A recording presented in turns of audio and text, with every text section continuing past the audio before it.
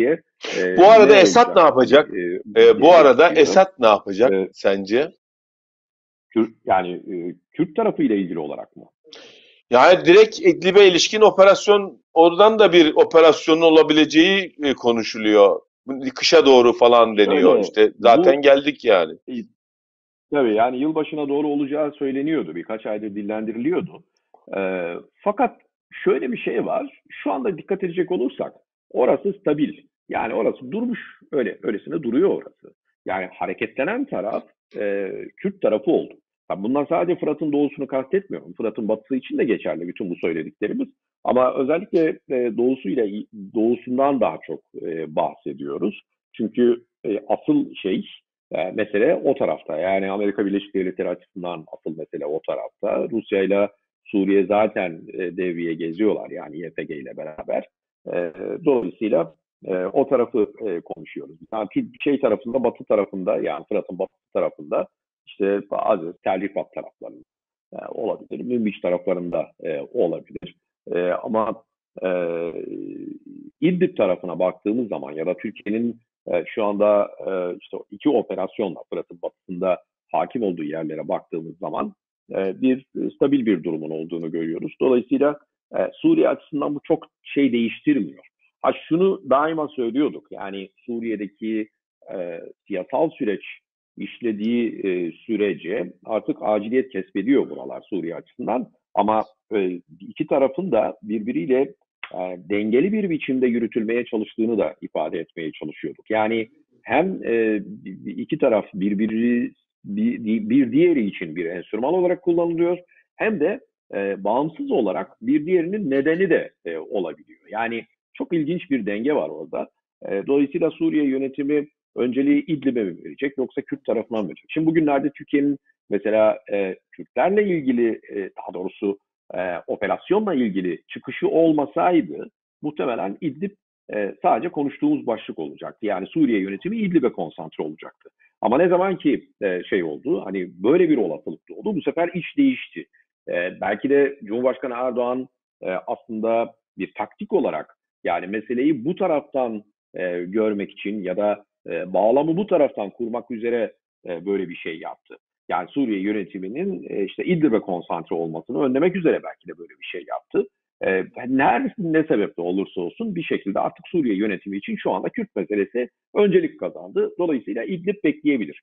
Bekleyebilir derken e, İdlib'in zaten çevresinde Suriye ordusu konuşlanmasını e, bitirmiş durumda. Yani hazır. Ama e, son dönemdeki bir takım gelişmelerle birlikte Kürt bölgesine doğru e, bir takım birliklerin kaydırıldığı yani İdlib tarafından değil daha işte e, ülkenin başka yerlerinden e, bir takım işte ekipmanın getirildiğini, teçhizatın getirildiğini ve birliklerin kaydırıldığını görüyoruz ki bu da şunu gösteriyor. Suriye yönetimi için şu anda Kürt meselesi öncelik kazanmış durumda. Ama 15-20 gün önce yani Cumhurbaşkanı Erdoğan'ın e, operasyon e, yapacağı ifadesinden önce bu böyle değildi. İdlib e, öndeydi e, ve belki de önümüzdeki günlerde yeniden İdlib'e e, yönelilecek ama eninde sonunda bu elbette bu İdlib meselesi Suriye yönetimi tarafından halledilecek. Peki bu arada yani sen aslında çok açık bir şekilde ifade ettin.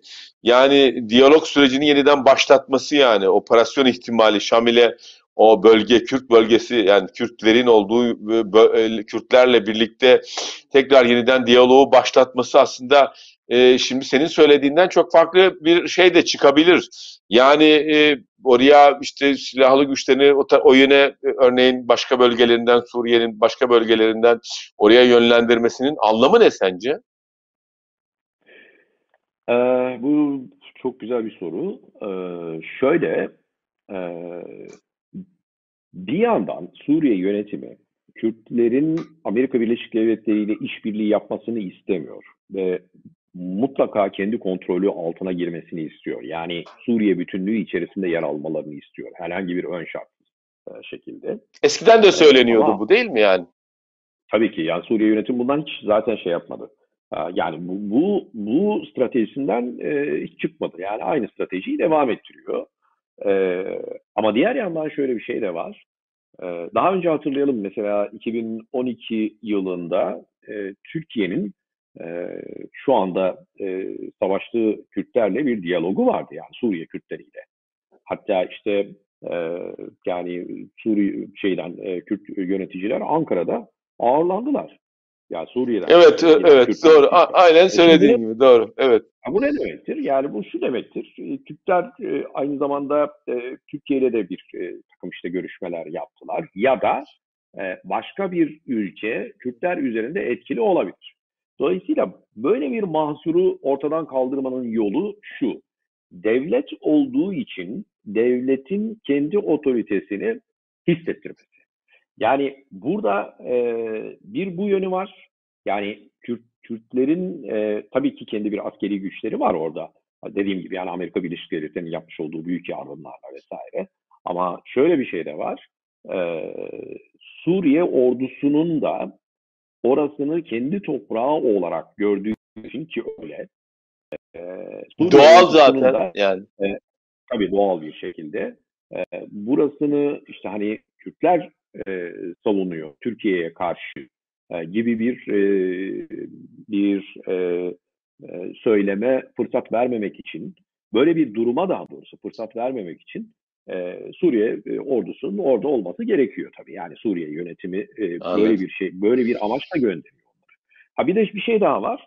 E, yani bu bunu Kürtler de istemiş olabilirler. Yardım istemiş olabilirler yani şeyden e, Şam'dan. Senin o söylediğinden dediğim gibi aslında yani- biraz da öyle al- algıladım ben. Yani senin o ifadenden yani işte Esat ne söyleyecek? İşte Esat'ın sö- söyleyeceğini bekleyelim. Ne söyleyeceği e, önemli falan gibi Evet, açıklamalar da aslında senin oradan o da çıkıyor biraz e, değerli bu Yani e, evet kesinlikle. Yani Esad bir şekilde bu konularla ilgili aslında e, şey yapıyor. Yani zaman zaman açıklamalar yapıyor.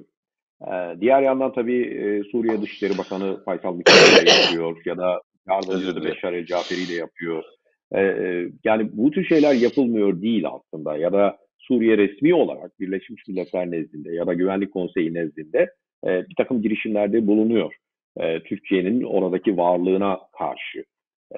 Ama şimdi artık zannediyorum Kürt, yani Kürtlerin beklentisi demeyeceğim ama bu açıklamaya göre eğer aralarında bir anlaşma olursa e, Beşar Esad e, Kürtleri de kapsayacak bir şekilde Türkiye'ye karşı bir açıklama yapabilir.